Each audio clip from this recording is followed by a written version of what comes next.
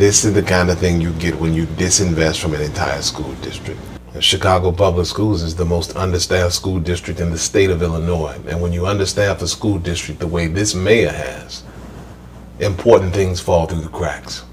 You know, you simply don't have enough people to do it because you haven't invested in those people, because you haven't invested in the students those people are supposed to serve. So one of the things that fell through the cracks is the district's capacity to meet its obligation to keep these students safe and protect them from these dangers.